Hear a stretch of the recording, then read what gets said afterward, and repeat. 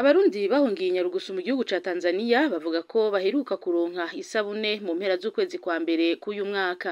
Aho bavuga ko bahawe isabune imwe ku muntu. Abo barundi bavuga ko bigoye gutahura ukuntu umuntu yokoresha isabune imwe amezi arenze atanu. Duheruka isabune mu mpera z'ukwezi kwa mbere. Baduha isabune imwe ku muntu. Mwiyumvire namwe muca mwumva ko ari agahohotero katagira izina.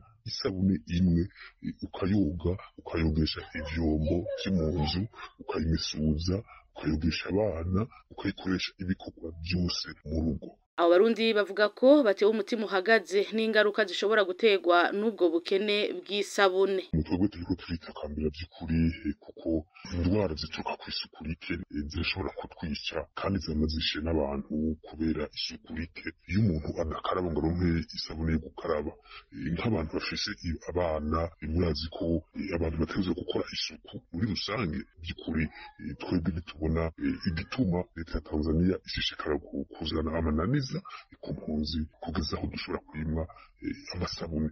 Abarundi bahungiye mu ikambi inyarugusu mu gihugu ca Tanzania bavuga ko ari bimwe mu bimenyetso vyo kubahohotera ngo bate bomoke. Bagatera akamo ishirahamwe DRC risanzwe ritanga isabune kwikubita gashi ikongera kubaronsa agasabune ko gukora isuku.